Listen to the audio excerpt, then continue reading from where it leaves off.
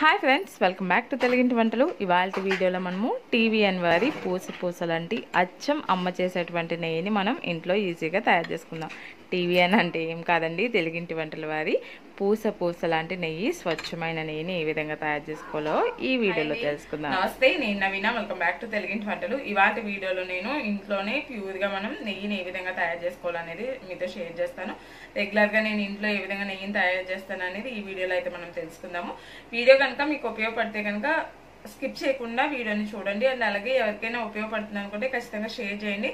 Video నచ్చితే like చేయండి మరిన్ని రెసిపీస్ కోసం సబ్స్క్రైబ్ చేసుకుని బెల్ బటన్ అయితే యాక్టివేట్ చేసుకోండి. అప్పుడే మీకు నోటిఫికేషన్స్ వస్తాయి వీడియోస్ అన్ని కూడాను. ఇప్పుడైతే మనం లేట్ చేయకుండా ఇంట్లో స్వచ్ఛమైనటువంటి నెయ్యిని ఏ విధంగా తయారు చేసుకోవాలనేది మనం తెలుసుకుందాం. ముందుగా మనము ఈ విధంగా పాలను అయితే తోడు పెట్టేసుకోవాలండి. కాచుకుని చల్లారిన తర్వాత దీన్ని ఫ్రిడ్జ్లో పెట్టుకుంటే మనకి మేగడ అనేది చక్కగా పైన అంతా కూడా ఇంత లెక్కన త్వరగా కట్టేస్తుంది.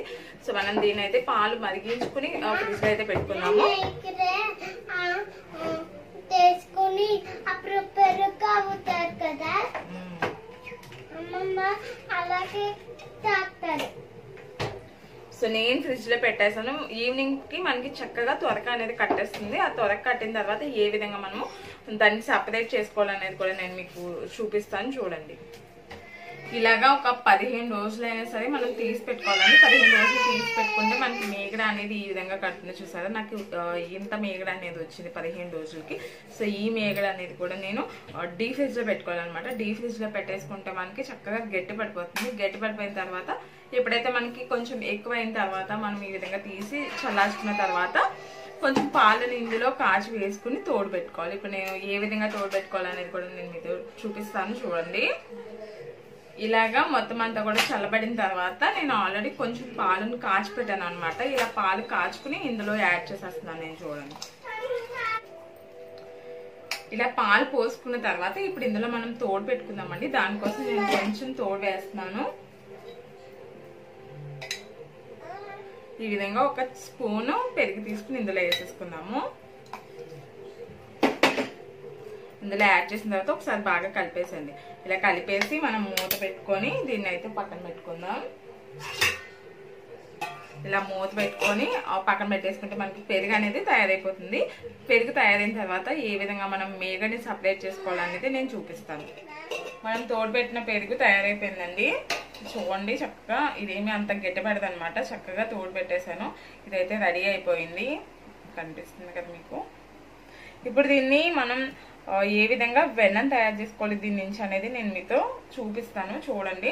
చాలా ఈజీగా చేసుకోవచ్చు పెద్ద ప్రాసెస్ ఏం కాదు. మామూలుగా అయితే చిక్కంతో చేస్తారు కదండి అలా కాకుండా నేను మిక్సీ జార్లో వేస్తాను. మిక్సీ జార్లో వేస్తే కొంచెం టైం అనేది సేవ్ అవుతుంది. మీరు టైం సేవ్ అవ్వాలి అనుకుంటే మిక్సీ జార్లో వేసుకోండి. లేదంటే మనం అమ్మలు అమ్మమ్మలు చేసేటట్లా చేతితో అయితే మీరు ట్రై చేయండి. ఇప్పుడు అయితే నేను మిక్సీ జార్లో వేస్తాను.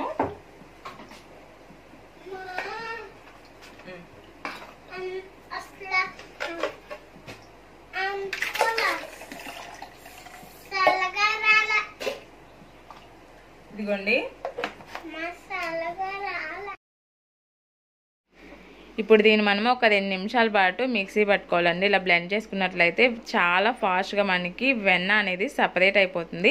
ఎక్కువ టైం లేని వాళ్ళు ఎక్కువ మనము చిక్కంతో చేసుకోలేనటువంటి వాళ్ళు ఈ విధంగా మనం మిక్సీలో పట్టుకుంటే చాలా ఫాస్ట్గా వస్తుంది. మనం చూస్తూ ఉంటాం కదండి అడ్వర్టైజ్మెంట్లో పూస పూస లాంటి నెయ్యి అని చెప్పేసి బ్రాండ్స్ అన్నీ కూడా అడ్వర్టైజ్మెంట్స్ ఇస్తాయి. ఎంత స్వచ్ఛమైన నెయ్యి మేము ఇస్తున్నామని చెప్పినా సరే ఎంతో కొంత మనకి ఆ ప్రోడక్ట్ అనేది అంత సేఫ్ సైడ్ అలాగే హెల్దీ కాదు కాబట్టి మనం ఈజీగా ఇంట్లోనే ఈ విధంగా చేసుకోవచ్చు. చూసారు కదా వెన్న అనేది మనకి వచ్చేసింది మొత్తం అంతా కూడా సపరేట్ అయిపోయింది. మీరైతే ఇక్కడ ఒకటి గమనించాలండి మనకి పాల మీగడతో చేస్తున్నాం కాబట్టి వెన్న అనేది చాలా చాలా సాఫ్ట్గా ఉంటుంది. మనం రెగ్యులర్గా పెరుగు మీద మీగడతో చేసిన వెన్నకి అలాగే మనం ఈ విధంగా పెరుగు సారీ పాలతో చేసినటువంటి వెన్నకి చాలా కొంచెం డిఫరెంట్ ఉంటుంది. ఈ విధంగా సాఫ్ట్గా ఉంటుంది.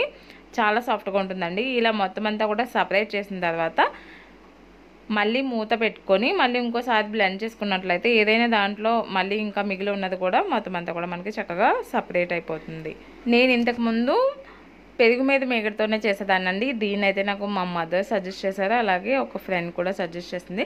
సో వాళ్ళు చేసిన తర్వాత నేను ఈ ప్రాసెస్ని అయితే చేశాను. చాలా ఈజీ అనమాట పాల మీద మేగడ సపరేట్ చేసుకుని మనం ఫ్రిడ్జ్లో పెట్టుకున్నట్లయితే ఈజీగా దాని పెద్ద పని ఏం కాదు కదండి. ఒక పదిహేను రోజుల పాటు మనము స్టోర్ చేసుకుని దాన్ని చక్కగా తోడు పెట్టేసుకుంటే మిక్సీ జార్లోనే కాబట్టి మనకి టైం ప్రాసెస్ అనేది కూడా పెద్దగా ఏం తీసుకోదు.